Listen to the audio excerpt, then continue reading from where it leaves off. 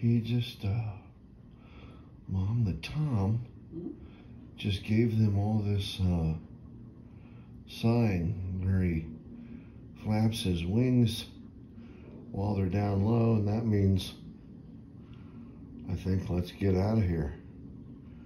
He, he, he, he's warning them to, like, come with him or something.